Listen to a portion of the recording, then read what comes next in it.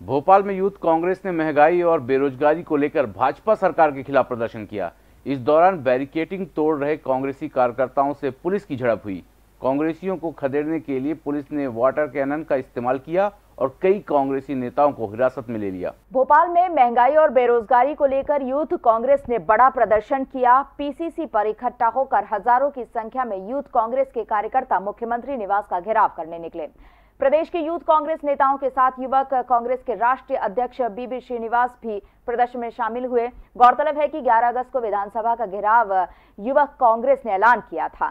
विधानसभा स्थगित होने के बाद कांग्रेस कार्यकर्ता मुख्यमंत्री निवास का घेराव करने निकले थे कि पुलिस ने कांग्रेस कार्यालय से निकलते ही बैरिकेटिंग कर उन्हें रोक लिया। बैरिकेटिंग को तोड़ने और बैरिकेड्स पर चढ़कर आने का प्रयास करने पर पुलिस ने कांग्रेसियों को वाटर कैनन का इस्तेमाल कर दौड़ाया। यूथ कांग्रेस के राष्ट्रीय अध्यक्ष बीबी श्रीनिवास विधायक जयवर्धन सिंह विधायक कुणाल चौधरी और प्रदेश कांग्रेस अध्यक्ष विक्रांत भूरिया को पुलिस ने हिरासत में ले लिया। ये हरकत है पुलिस की। हमारे युवाओं को ऐसे मारा गया है। इसको देखो कैसे एक एक खून का एक एक बूंद। हमारे कांग्रेस कार्यकर्ता के खून का एक एक बूंद जो आज यहाँ गिर रहा है वो जो इस प्रदेश की जनता है, उनके लिए समर्पित है।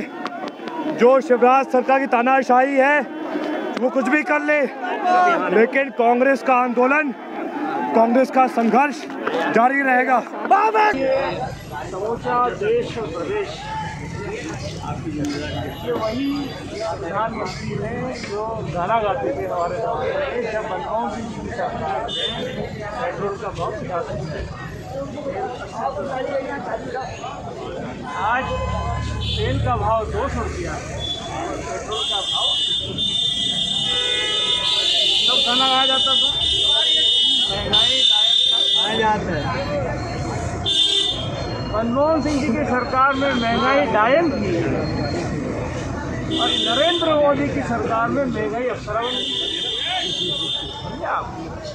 समूचा देश साकार अच्छा हुआ है। देश लोगों को गरीब लोगों को खाने का राशन नहीं मिल रहा है तेल नहीं मिल पा रहा है।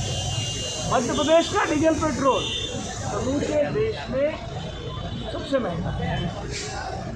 और सरकार इस प्रदेश की जनता का हरण करने में संगीत की स्वर लहरियों से सांस्कृतिक ताने बाने तक चंबल के पीड़ों से नक्सलवादियों के गढ़ तक। झोपड़ी से महलों तक ठेलों से मेलों तक पगडंडियों से सड़कों तक गाँव से शहरों तक व्यापार से उद्योगों तक। राजनीति से कूटनीति तक। दखन न्यूज़। आपके हक।